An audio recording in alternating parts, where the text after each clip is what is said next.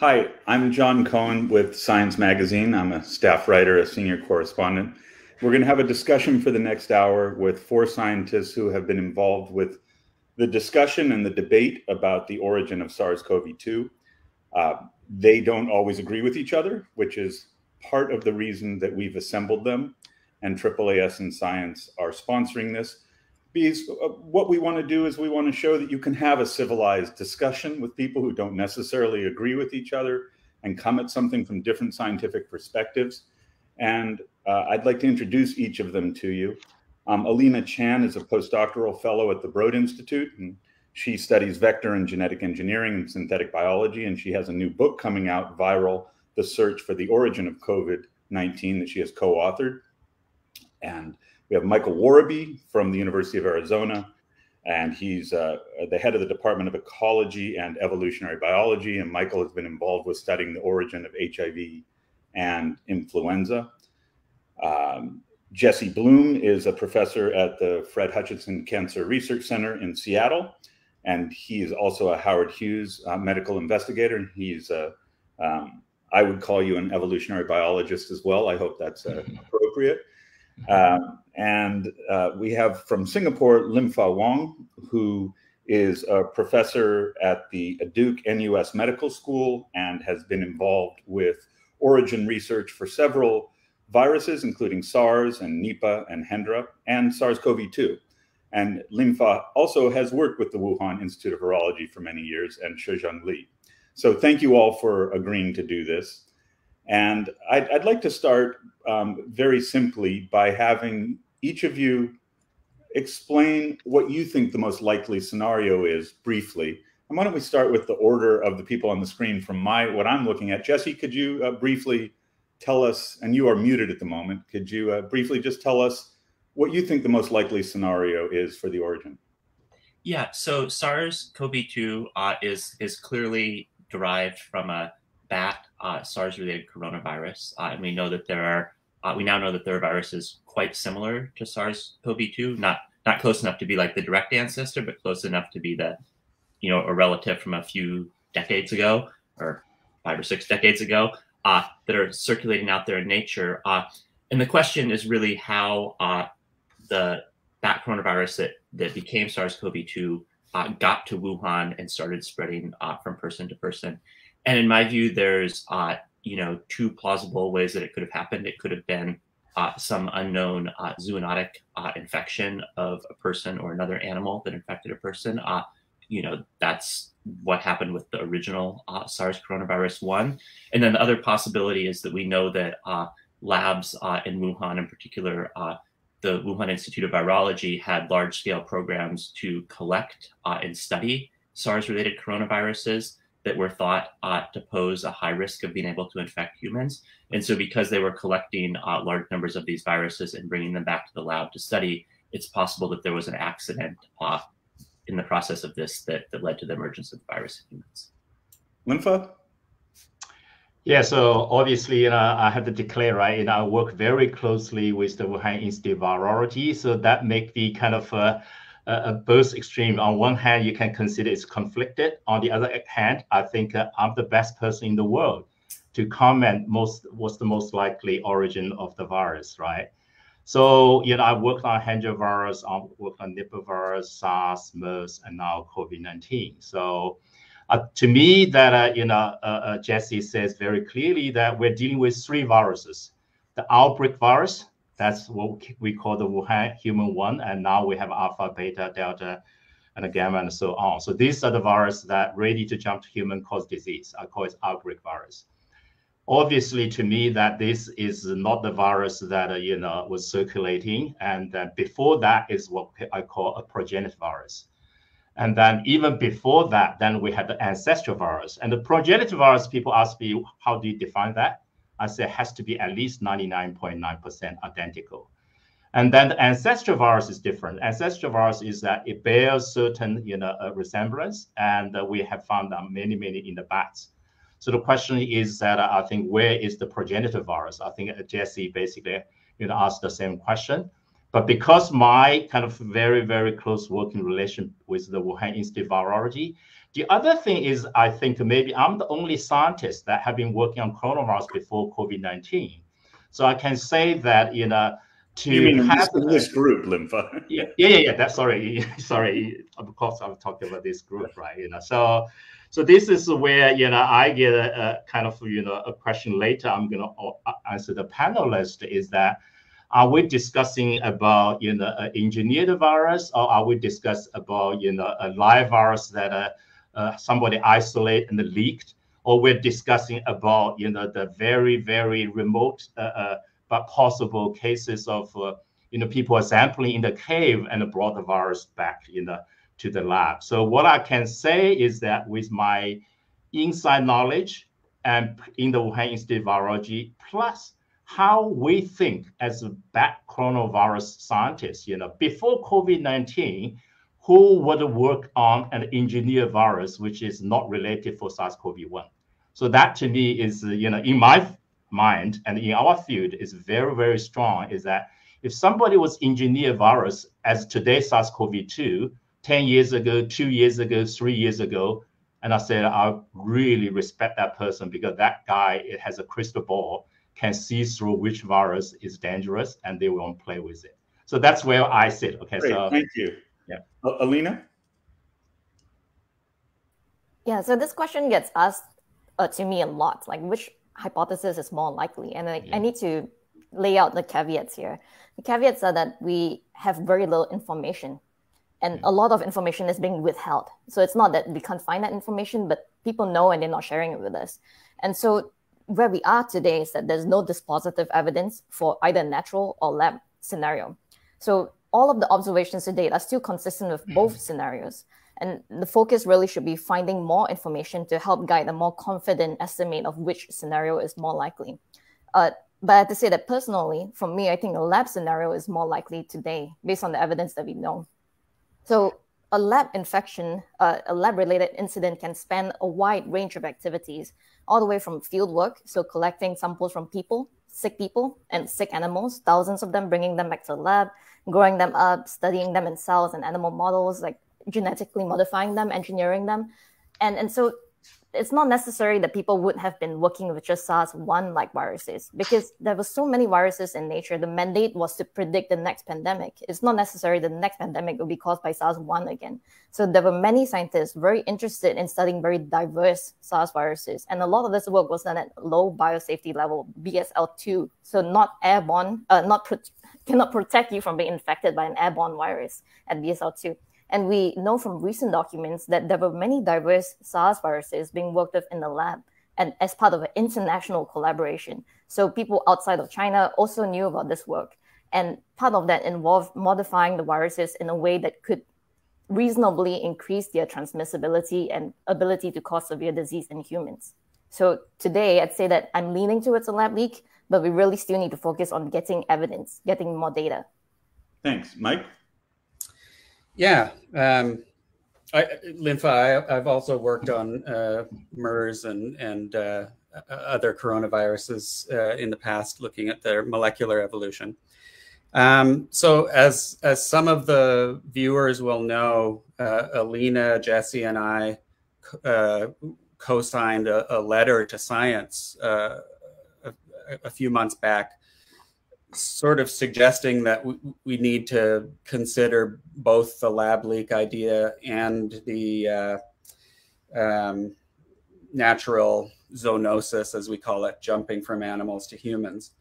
Uh, and and so I, for for me, I've I've come at it with a, a, an open mind. Uh, but the evidence, you know, the the more we know about uh, what happened uh, with with people working at the Wuhan Institute of Virology, uh, the actual viruses that they had uh, in their lab, uh, and the more we find out about the natural cousins of this virus in bats, um, the the more convinced I am that this was a, a SARS-1 like natural transmission. And, and for me, the, the real preeminent feature of this virus uh, is that it started spreading from a very early point and, and perhaps the earliest point at Huanan Market, which is a, a seafood market uh, that also sold live mammals. Uh, and so the very species that were involved in SARS 1 uh, were being sold at this market. Uh, and lo and behold, if you look at the early cases of this uh, virus, the preponderance of them are linked to one single market, a tiny, tiny little fraction of a city of 11 million people. Uh, and uh, there's been confusion about whether that pattern of early cases being linked to that market could be what we call ascertainment bias, where those the, the samples from that market or uh, patients from that market were cherry picked because there was focus on it. Uh, and recently, I've been working on this uh, and can tell you that they, they were not cherry picked. There really was a preponderance of early cases uh, at, at, at, the place that was selling the very animals that brought us SARS 1. So I want to build on what um, Mike is saying. I want to back up for a moment for people who might not know the history as well as all of you do. This pandemic began as an outbreak in Wuhan that was noticed and publicized because of 27 cases at the Huanan seafood market in Wuhan mm-hmm. in late December. Um, but let, us let's, let's build on that. And there's a question that came in from uh, USA Today reporter Elizabeth Weiss that, that essentially is what Mike was getting at, which is how did this virus show up in Wuhan? What happened? And uh, Mike just spelled out a very specific place that it emerged that he thinks is what happened. There, there's more detail there, of course, about how it got to that market. But I'm curious what each of you think is the most like Occam's razor, and this was Elizabeth Weiss's question, scenario for the virus showing up in Wuhan. Um, Jesse, what do you think? I mean, again, I think we can't really say how the virus got to Wuhan. I mean, I, I mean, there's just not enough uh, evidence to, to trace how it got there. But I mean, we do know that uh, the bats that carry the viruses that are closely related to SARS-CoV-2 and could be the natural predecessor, you know, they don't live in Wuhan. They live in uh, in other areas of uh, China and Southeast Asia. So so clearly, that you know, there's not a high, uh, probably any natural prevalence of uh, viruses closely related to SARS-CoV-2 uh, in Wuhan. So, I mean, it's possible that it was uh, by some unknown process. We still don't really understand the process by which uh, SARS-CoV-1 uh, got to where that outbreak was identified. But I mean, again, I go back to, and this is why I still think, uh, you know, continue to think a lab leak is highly plausible. There was a large-scale effort to collect. I mean, if you read this this NIH uh, R01 that describes a collaborative work between EcoHealth Alliance and Wuhan Institute of Virology.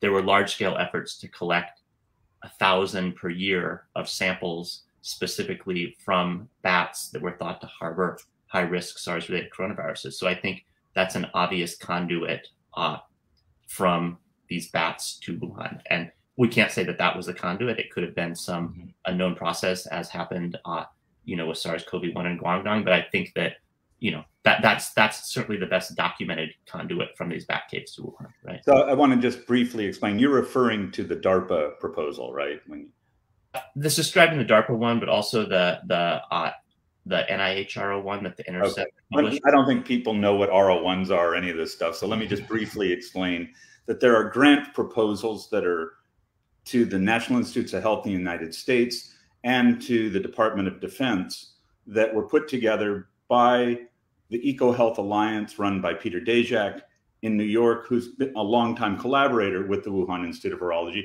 And Linfa is part of one of those proposals that was not funded by the Department of Defense, by DARPA.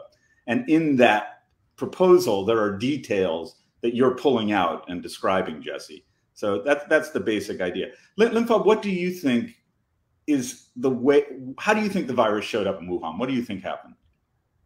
Yeah, what so uh, we don't know. know. Let's be let's be honest. None of us know what of happened. Course. Right? As as Jesse says, you know, I I was personally in Wuhan January 14th to 18th, so I was on the ground in 2020. Heard, 2020, yeah, 2020, not 21, of course. Uh, I could not travel, you know. After after February 2020, I'm not allowed to leave Singapore, so I have not been traveling at all. So January 14th to 18th, you know, I had a pre-arranged because annual scientific retreat in Shizhen Li's uh, Institute, the lab, uh, everybody doing, doing the back research.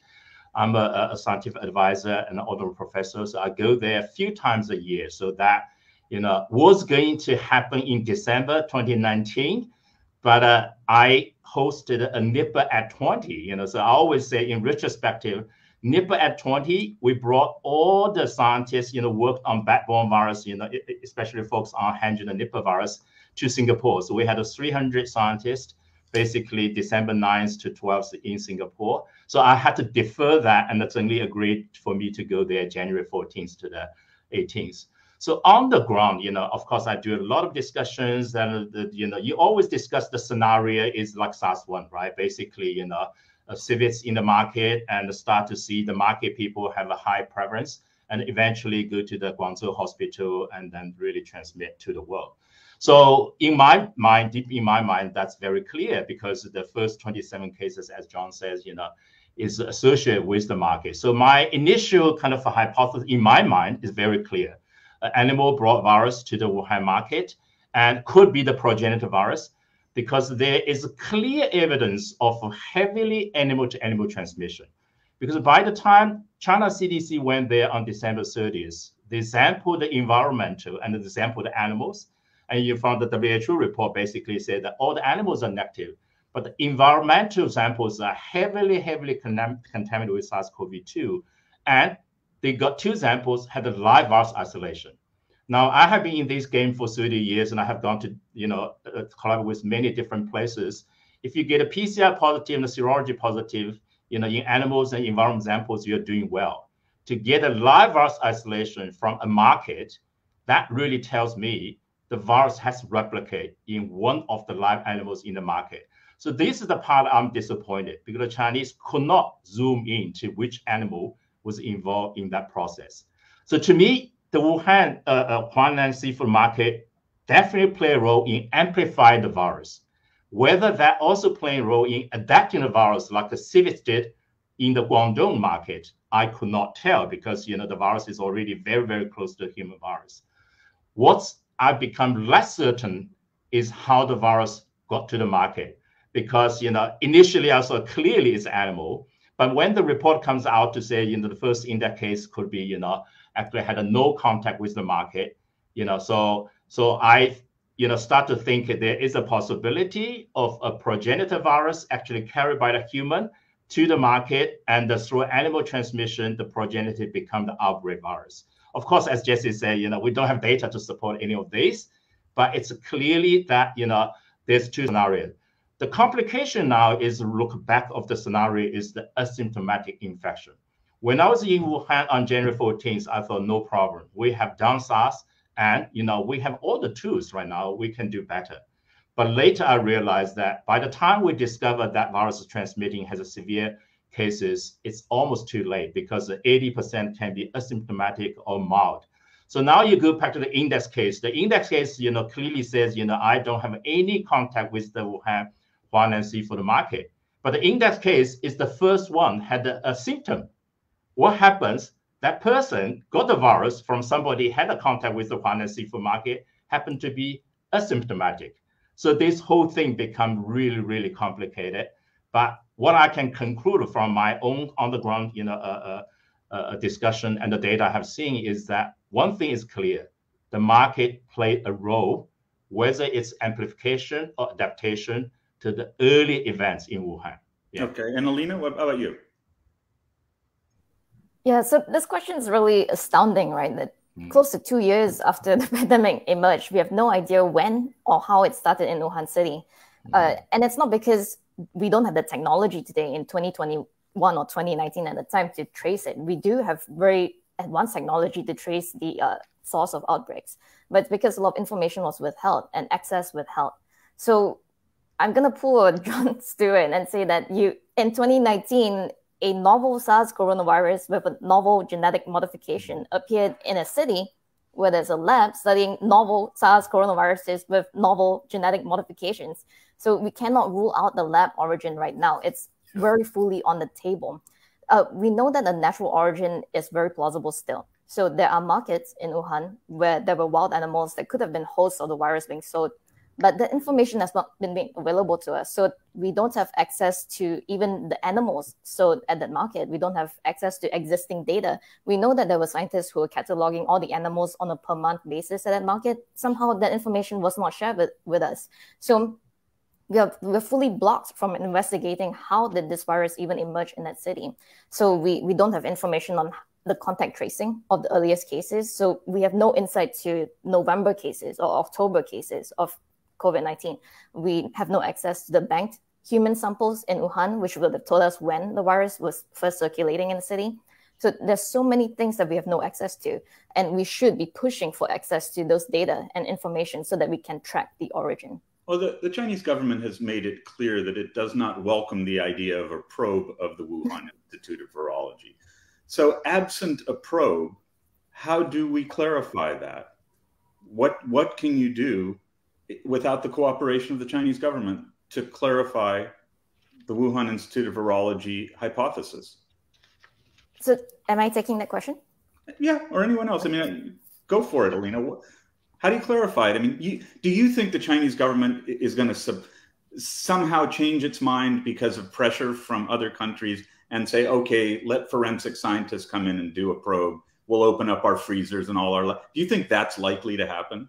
I don't think that's likely to happen until a better case has been built outside of China, which I think is fully possible. So China is not like a sealed up black box that nobody can see inside and get into.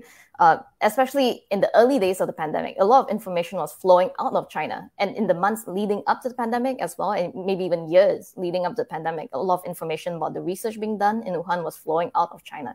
So we should be tapping into those sources of information right now instead of giving up and begging to go into China. Um, we have to fill out the picture ourselves, collect all the pieces of information that multiple people have in many different countries, and put it all together to fill out a big picture before going back to China and say, look, We've collected all this information. Now we have a clearer idea of whether it was natural or from a lab. And now we would like you to cooperate and give us access to data. John, could I um, uh, in, answer this question about how I think the virus most likely got there? And what I feel like is that there's there's sometimes a tendency um, when we we don't have uh, dispositive evidence one way or the other to to then go beyond that and suggest that hypotheses hypotheses are equally likely. Uh, and uh, you know I, really don't think these hypotheses are equally likely just as uh, i'm sure uh, alina and and jesse would not uh, think that this virus having been developed as a bioweapon is an equally likely hypothesis, or that it came from snakes, or that it was modified from a distantly related virus like RATG13. Um, and um, in, in, in, terms of uh, the analogy with SARS-1, I think it's important for people to understand what happened with SARS-1. So with SARS-1, animals like civets, raccoon dogs, badgers, all carried progenitor viruses. Uh, and wet, so-called wet markets, where you can go and buy a live animal, have it slaughtered, and take it home, um, were a conduit for that progenitor virus getting into uh, humans. Uh, and those same animals uh, were sold uh, uh, immediately prior to the pandemic at Huanan Market and, and three other places in, in, Wuhan. Um, and uh, I, I, just also wanted to uh, mention that the, these horseshoe bats that carry these viruses, there's been a lot of work on them in southern China, as Jesse mentioned, but they do also circulate uh, or live in huge numbers in uh, in Hubei province, uh, in Enshi prefecture. There, some of the massive, the most massive cave uh, complexes in the world uh, are there, and they they are filled with uh, the, these specific species of horseshoe bats that carry these viruses. So it's not implausible that it would get from a bat to a farm, uh, making, uh, creating raccoon dogs, and then mm -hmm. on to humans through through a market. So you mentioned RATG 13. Uh, for people who don't know what that is, and I imagine that's a lot of people, the closest bat virus found to SARS CoV 2 until a couple of weeks ago was a mm-hmm. virus isolated by the Wuhan Institute of Virology researchers in Mojiang mine in Yunnan province. But then a paper came out a couple of weeks ago from a research group in Laos, working with the Pasteur Institute there and in France, that found three new isolates that are closer. And they're closer uh, in the entire genome, as Mike uh, has shown, but they're also closer, most importantly, in the way that the virus actually binds to human cells. It the spike protein on the top of uh, SARS-CoV-2 has a little area that's called the receptor binding domain. I'm sorry to get nerdy, but it binds onto the human cell, and it almost perfectly matches in these new bat viruses the um, the SARS-CoV-2 receptor binding domain. Jesse, does that alter your thinking at all? And and I've spoken with several researchers say including Linfa, who said to me, this furthers the case of natural origin because you don't have to imagine that a laboratory created this.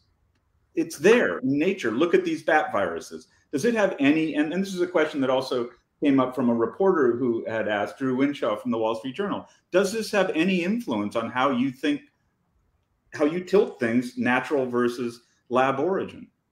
Uh, Honestly, not really. So I think that I think as Linfa nicely put out, there are sort of three questions. What are sort of the deep ancestors of SARS-CoV-2, uh, which we, due to studies like the one you're describing, we now have a increasingly good idea of. There are viruses that could be the deep ancestors of SARS-CoV-2 that have been identified in Yunnan, like this RATG13 virus, have been identified in Laos, like the virus called Banal 2052 that you're just referring to. And then we know what SARS-CoV-2 is, and the question is, how did we get from that uh, deeper ancestor to SARS-CoV-2? I mean, although there have obviously been various sort of crazy and conspiratorial ideas that have been floated about SARS-CoV-2 being engineered from scratch and things like that, I think that's clearly never been uh, a reasonable hypothesis. I think the the the plausible ways that this virus could uh, come from a lab uh, have to do with the lab collecting uh, SARS-related coronaviruses that they think are going to have the potential to jump to humans, like be able to bind to human ACE2 and, and things like that. And then, you know, either have an accident with one of these viruses they've collected or in the process of slightly modifying that virus. Those, those are the plausible versions of the of the lab accident theory. Uh, and you know, so obviously those are contingent on those natural viruses existing out there in the first place. So I don't. I think the question is not are there bat SARS like viruses related to SARS-CoV-2? The answer is is clearly yes, and I think it's great that we're getting a better understanding of what those viruses are. But the question is, how did those bat SARS-related coronaviruses that are the direct ancestors of SARS-CoV-2 get to Wuhan and start spreading in humans? And and that question, I don't think we're further along. So, so, Jesse, even, even if researchers found a bat coronavirus that was 99.9% the same as SARS-CoV-2, you would still ask did a no, researcher I think, I think if you got to 99.9 or 99 point, you know, I mean, honestly, we'd probably expect the yeah. from a year before to be like more like 99.98% identical or something. then, then I think you're starting to talk about something extremely proximal.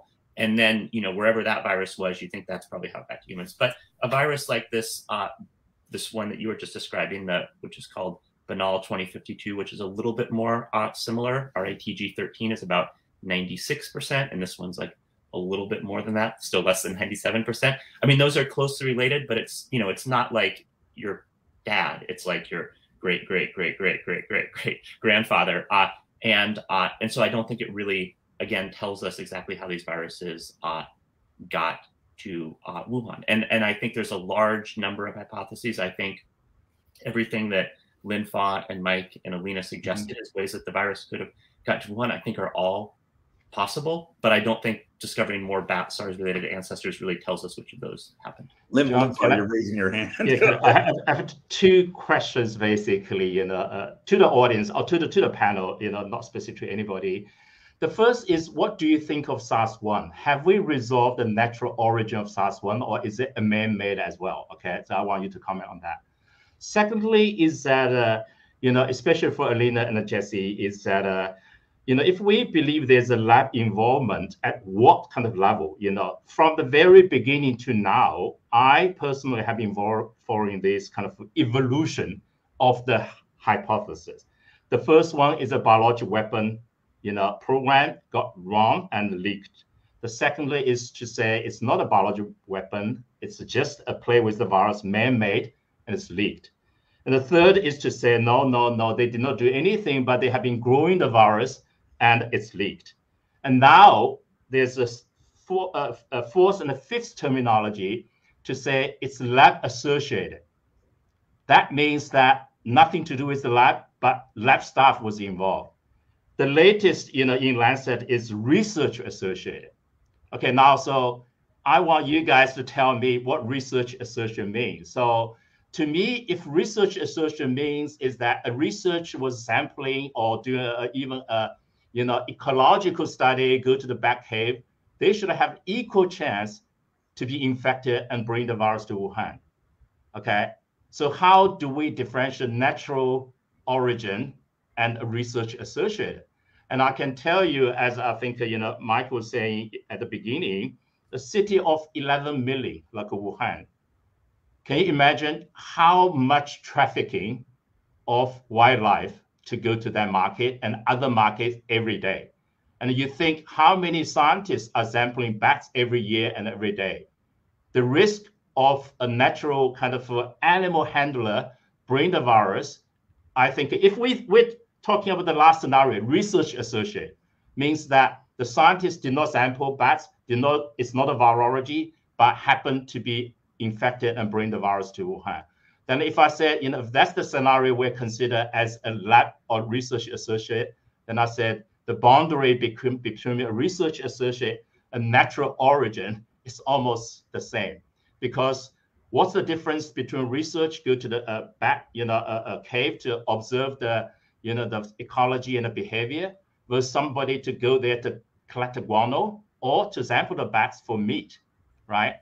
I can tell you the second possibility, or the second scenario, the frequency is going to be two logs, if not three logs, higher than the first. Scenario. So, uh, so, so log differences are something yeah. I, I don't think most people understand. Okay, okay, hundred times to thousand times difference. Yeah, and so, so, so, what do you guys think of this uh, idea? I mean, the argument is making essentially is that it's far more likely that somebody had been exposed to a bat virus or a bat virus that went through another species and came to the Wuhan marketplace than it is for a researcher who went to trap bats and release them and sample them would then come back to Wuhan with the virus. There, there are far more, a hundred, a thousand times more people who and are the PPE and the PPE because the, the, people, people go to the cave have the full protection. Right, yeah. the people who are the researchers are supposed to be wearing protective yeah. equipment so that they don't yeah. get infected. It yeah. doesn't mean they always were, but that's yeah. the idea. So, what do you think of that argument that it's it's just far more probable that it was somebody who wasn't a lab researcher? I I, I would agree with uh, that. It, it is uh, conceivable uh, that the virus made it to, to Wuhan in someone who is specifically doing this kind of work. And it is an issue that, as, as the scientific community, we need to think very carefully about the risks associated with coming into contact with the very species in the very pl places, th these bats that harbor this particular lineage, which we now know has has emerged both in SARS-1 and SARS-2. So these are dangerous viruses. Uh, but you know there there have been studies showing that in the villages around some of these caves that have these bats, 3% of, of, of just the, the people there have antibodies to these viruses. Uh, and so there are just so many more uh, opportunities for non-market uh, or non-research connected uh, activity um, to bring these viruses. And then again, you, you face this fundamental issue of if it started with research, why does it look like it actually started at one of these markets uh, selling these animals that were implicated in the first SARS one, uh, SARS so, outbreak? So, uh, so Alina, you wanted to respond to this. What, what do you think? So I think it's really good that Linfa brought up this overlap between natural and research uh, associated origin scenarios. For me, the reason why we have to distinguish between a wildlife trade versus a research activity related origin is because the mitigation strategies are completely different. So if we want to prevent the pandemic from starting from a research activity, from fieldwork, from thousands of uh, tens of thousands actually of samples being collected from animals, bats, and markets and people in the hot spillover zone, the hot zone of SARS down in South China, then that that activity, that research activity has to be better regulated, made more transparent and accountable. Whereas if you're trying to stop a wildlife origin, like a, a trade origin, then that has to do with regulating the wildlife trade. So I, for me, the distinction is how how do you prevent a pandemic starting from these two different origin scenarios? Mm-hmm. Uh, there is still a possibility, of course, of the virus having been genetically modified. And as we've mm-hmm. seen more and more documents released from outside of China, actually, we're seeing that it's very, very possible. Uh, scientists were collecting so many tens of thousands of samples, a database that we have no access to it now, or, or since the beginning of the pandemic. We don't know what viruses they collected. We don't know what modifications were made. Um, we have, I know that generally, if you look globally, there are a lot of markets compared to labs. But if you look in Wuhan City, there's a mm-hmm. lab there where people are specifically going into caves to look for these yeah. SARS viruses and bring them back to Wuhan City. So for SARS 1, within two months, scientists in China, without any help from foreign experts, had mm-hmm. found a well substantiated path for SARS 1 to emerge from the wildlife trade and markets into people in, in Guangzhou. And so they found like antibodies in wildlife traders, uh, showing that they've been very frequently exposed to SARS viruses. Uh, whereas for SARS-2, we have none of that data. So no positive animal samples, despite searching, checking all the farms, checking all the suppliers, nothing. The, the wildlife trade in Wuhan, by the way, is much less, like orders of magnitude less, like tens of thousands of times less than the kind of mm-hmm. wildlife trade going on in South China. Mm-hmm. Uh, they also have no uh, evidence of uh, anyone in the wildlife trade in Wuhan having been exposed to SARS virus on a regular basis prior to this pandemic. So what we see now is that there's a very strong conduit of scientists in Wuhan going down to these places where they know they will find SARS viruses, bringing them all the way up into Wuhan city, like thousands of miles. Whereas the wildlife trade, that there's no evidence.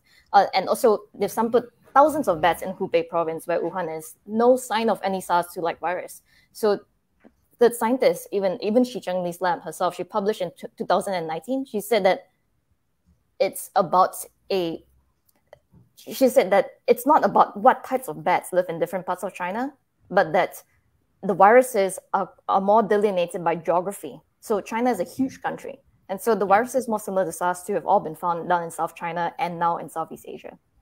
Okay, let's let's try to be um, brief if we can because we have some a lot of questions building up. But Linfa, you wanted to say something, and Jesse, you wanted to say something. Linfa, what is it you want uh, to add? I was going to follow with Michael's, you know, uh, uh, uh, comment about the serology on these villages that live next to the cave in Yunnan province, and 3% of them were positive with the SARS-like antibodies, but does not neutralize SARS-1. So what I think this is very important. What I try to say is, you know, for the general audience, we have this group of viruses called the SARS-related coronaviruses, and start with SARS-1, and we have now SARS-2 so the Lau paper that uh, you know John just mentioned that last uh, two weeks that have a preprint just came out to say there's a virus very close to SARS-2. But there's another uh, paper from Laos. You know, I mean, I don't know if uh, the panelists have read this from the Lancet Regional Health Journal. Basically, is a serology surveillance. So they surveyed the Lao population August to September last year. So the COVID-19 outbreak was already happening, but you know, Laos, you know, the community transmission was limited. So they did a general community versus the bat and wildlife traders. What they discovered is that the antibody surveillance of prevalence is around 2 to 5%, binds to SARS-CoV-2, but does not neutralize SARS-CoV-2. When you go to the bat handlers, it goes all the way to 20%. Still not neutralizing by binds. So what I try to say is that, uh, of course, you know, now we all, you know, get worried and excited about SARS-CoV-2. What I try to say is SARS-related coronavirus natural origin spill over to human is happening more often than we thought. And it's interesting, you know, Kalina, you uh, Alina, you mentioned that you know there's no evidence of uh, ever spillover in the animal trade in China. How do you know? How do you know until there's an outbreak like this? People have never done really detailed serology monitoring of SARS-related coronavirus spillover in humans. Period. Right? During SARS-1, we did that. We found that the wildlife handler have a high seroprevalence than the vegetable handler, but still these people don't have disease. So what I try to say is this class of virus, what we call SARS-related coronavirus or SARS-CoV virus, actually spill over more frequent than we thought. Only when there's outbreak like SARS-1 and SARS-2, then the whole world get excited and do studies. So now I'm into this now. Yeah. Jesse, you wanted to say something. Yeah, I guess I would just say, uh, I mean, empirically, I mean, although all of these encounters could be happening, I mean, empirically, these pandemics are rare, right? So that, mm-hmm. so that, the, it, they're not happening all the time. So, however many encounters there are between humans and bats, uh, most of the time they're not leading to pandemics. So, you know, I think we have to be careful of saying there are thousands and thousands of these. I mean, there may be thousands and thousands of these encounters, but clearly they're not usually productive. And I mean, I know people work with safe, uh, you know, take lots of precautions when they're working in lab, but just empirically, if you look at SARS-CoV-1, SARS-CoV-1 clearly had its natural origin from a market. And then there was potentially uh, in 2004 uh, a few more sort of natural zoo jumps. But once SARS-CoV-1 was in labs, there have actually been uh, four different lab-associated infections with SARS-CoV-1. So I mean, the empirical fact is with these SARS-related coronaviruses, once they're in labs, uh, the labs appear to be a fairly efficient means to cause outbreaks. Uh, you know, given that there's been at this point, even though SARS-CoV-1 is clearly in natural animals, there's been as many lab-associated as natural outbreaks. Now that said, there's no evidence that SARS-CoV-2 was present in any lab. There's also no evidence. I mean, if you take at face value what what China's saying, it wasn't in any of the animals in the seafood market. Uh, it wasn't in the lab, and where did it come from? You know, so I mean, clearly, clearly, it was somewhere, and and that information is either not known or not being reported. But but I think, given these uncertainties, I don't think we can weigh either of these as as dramatically more likely than the other. I want to switch uh, to a question from someone in the audience, Jamie McGinnis, and it's about the furin cleavage site, which has received a tremendous amount of attention. I'm going to back up just for a moment and explain what it is. Um, the surface protein spike of the virus has a point in it that can be cut by an enzyme that um, is called the furin cleavage site. And a lot of the theories about and hypotheses about bioengineering say how did this virus get a furin cleavage site? Because this SARS related family of viruses, they don't have furin cleavage sites. Now, other bat coronaviruses in a more ancestral or broader family do have it. And so that's one argument against it, but it speaks to the question of bioengineering. And do any of you, Alina, you you you sound like you think that bioengineering is a possibility. Jesse, you don't. Um, the the DARPA proposal. I don't know if I would say that anymore. I'll, I'll, I'll, but I don't know if I would say that anymore. But we. Okay. Okay. Well, we'll we'll get to that in a second. But uh, but the DARPA proposal that's received intense attention over the past few weeks has received intense attention attention because of a paragraph that describes an experiment where you put furin cleavage sites or other prote- proteolytic cleavage sites into the viruses so that scientists were proposing that this could be done. Linfa, you were on this proposal, though that was not your laboratory. And that laboratory that was proposing to contribute that was not the Wuhan Institute of Virology. It was a laboratory in North Carolina that Ralph Baric runs. And the proposal also was not funded. So here's my question. Do, if you do you think that the virus could have been bioengineered? And if you don't think that, then what difference does it make what the DARPA proposal said about bioengineering other than the potential harm that could have caused? Because we're talking about the origin here. So, do you think it was bioengineered? Mike and Linfa, I'm going to assume that you don't think it was bioengineered, right? Yeah. Not likely. Not likely. Alina, Jesse, do you think it was bioengineered?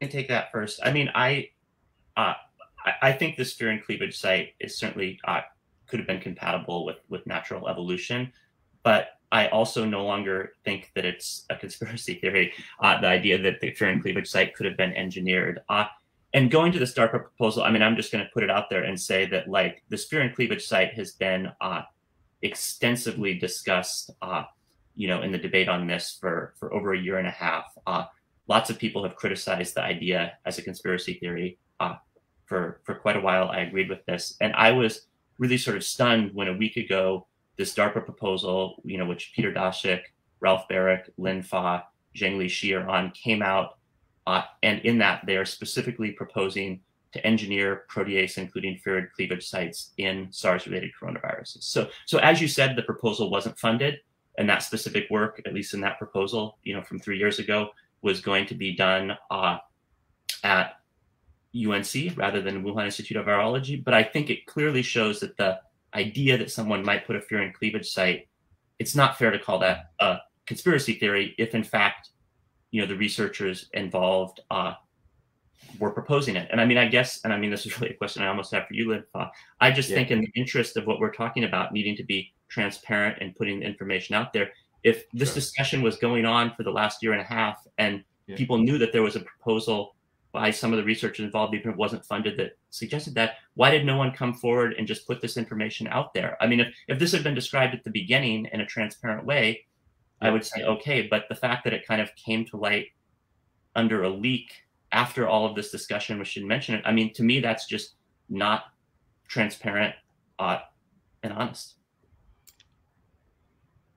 Yeah, so I mean, obviously, you know, I'm the one that uh, because I'm a, a co uh, on the on the on the grant, but I, I think I'm the one have least knowledge than you guys on the panel when you have a grant which was not funded, and especially from DARPA. What's the kind of uh, you know process of uh, you know uh, uh, make this public, right? So that's kind of not my area. But what I'm in comment is again, you know, we are all virologists, right? We know this. All the envelope virus for uh, coronavirus, they need a cleavage. For uh, you know, I work on Hendra virus. We all needed that protease cleavage, and the protease, if it's more efficient cleave, and it's more efficient for for for replication, right? You know, and uh, entry. So to me, this is not something that. So I'm not sort of against the idea of you can artificially insert a furin cleavage site in a coronavirus. Of course you can, right? And but uh, what I'm trying to argue is that uh, the nature always wins, can do much better than us, you know. So I don't know if you guys have read this uh, a coronavirus called the GCCDC1. So what we have is a coronavirus for the audience. It's a coronavirus is have one strand of RNA. Okay. So now in China and in Singapore, we found a backbone coronavirus has a piece that come from a real virus, which is a double strand RNA you know, in textbooks, you know, in RNA virology, I don't think people will imagine that can happen, but it happened in nature. So to me, to have a recombinant virus, to have a furin cleavage site in a, you know, bat coronavirus is much easier than a bat coronavirus acquire a piece of double-stranded RNA virus genome and recombine into it. So that's all I want to say is that well, uh, yeah, you, you, because yeah. of your connection to the grant, because of your connection yeah. to the Wuhan Institute of Virology, do you have problems with the transparency here? That's what Alina and Jesse repeatedly are referring to, that there hasn't been enough transparency. Are you troubled by the transparency? Well, I'm not because I don't understand the rules of you failed a military DARPA grant. What's the proper procedure of release that information? Because do we always release failed grants? Right, but did you know about that that paragraph in the proposal? Did you know that that was part of it? Of course, I know. So why didn't you publicly say yes? There was a proposal to do this experiment. It didn't but happen. But it's not up to me, right? I, am not that part, you know. So what I have been saying is that uh, from day one, I said to engineer a coronavirus, right, in a lab, technically that's possible. But to engineer a SARS-CoV-2 from existing knowledge, that's not possible. Yeah. And Mike, what do you think about this issue? Um, well, for, first of all, I would say that Shizhong Li has been pretty clear uh, about um, th this virus not being uh, handled in her lab before the, the outbreak. Uh, and and so we do have to it you know to take Jesse's point about what's a conspiracy theory. These can be kind of emotive terms, uh, but this really does require a conspiracy uh, and a cover up. Uh, if Shizhong Li was really doing this work with a, a SARS-CoV-2 like virus, um, then she, th- there's a sort of conspiracy to to keep that secret. But what I wanted to do actually, since John, you talked about the spike protein that is is the one that that is kind of the the velcro that sticks the virus to the cell, and then this furin cleavage site, uh, it kind of puts the virus on a hair trigger so that once it gets into the binds to cell, it can get in and be very infective. So that's the magic sauce of this virus. That's whether it's natural or genetically modified. Um, th- this is why this virus is circulating in humans, and all of those other thousands of viruses that cross into people are not. And I just wanted to show, since you mentioned also the, these. Hmm. Uh, here. Actually. Oh, Mike, it's backwards. Can you reflect it in a mirror? No, okay. okay. okay, so so this actually right here uh, here is the furin cleavage site of SARS-CoV-1, uh, SARS-CoV-2, the very top one. PRRAR. You're showing us the RNA sequence or the DNA sequence. No, this is this is the amino acid sequence. The amino acid. Sorry. These yeah, are yeah. the building blocks of the protein, and and the amino acids PRRAR are what give this virus the ability to really be successful in humans. Uh, but below that are these viruses from Laos that just came out uh, and what you can see there is they also have something very similar. It's not a technically a, a furin cleavage site, but it, it's it's very similar. And uh, if genetic modification of this virus did occur, the people doing it would have had to have used a sequence of, of nucleotides to splice into the genome uh, that happened to be almost exactly the same as the ones that we see in these viruses from Laos. Um, and so th this, is, this is the kind of data that you need to actually go to and think about uh, when you're talking about this DARPA proposal. Uh, and to me, it's just not plausible that uh, this sequence uh, that you find in bats naturally, just a slight tweak on that uh, was what would have been um, inserted into this genome. It, it, it, actually makes no sense. Alina, you had a question for Linfa. Uh, yeah, but let me address some of the points that have been raised first. Okay, so we're running not, out of time. Let's, okay. let's be brief. Okay, it's not a conspiracy for scientists to not disclose their data. It's very normal. In fact, we have no insight to all the viruses collected at the WIV after 2016. If you read the literature, all those viruses have been collected before 2016. So we have no idea what they found. And if you read the DARPA proposal, they said precisely they were copying parts from nature. They were looking at natural furin cleavage sites and putting these into SARS viruses in the lab with slight tweaks. So what we are seeing is completely consistent with a lab escape of a virus that had a furin cleavage site from nature put into it. So um, my question for Linfa is who proposed this furin cleavage site insertion in the paper? Was it Shizhong Li? Did she no. propose to put the furin clip site? So was it no, I mean that's that's not. Uh, I mean I don't know who proposed. That's not uh, uh, the part. We each have a part, right? The Wuhan Institute was the field research, either bat immunology, and the UNC is doing the virology. So that it's pretty obvious, right? Yeah. No, so, but who proposed the idea? Because the idea says that we are reviewing our deep sequencing data. We've seen these cleavage sites, and we're going to put them into SARS viruses in the lab. So the question is yeah, who but... the idea and access to this data and could do it in the lab in a seamless way? UNC, right? It's a UNC lab. This, I mean, the the the, the grant it's is very clearly. It's University of North Carolina. In case yeah, yeah, yeah, yeah, yeah. Yeah, but I want to uh, jump to a question from um, uh, Emily Kopp, a reporter at um, CQ Roll Call. How can the press coverage of this improve? And and Linfa, I'd also like you to address because you have collaborated with Shizhong Li and she yeah. has been uh, in some cases you know put up as mike said as having been involved if this is true with a, a major yeah. conspiracy so yeah.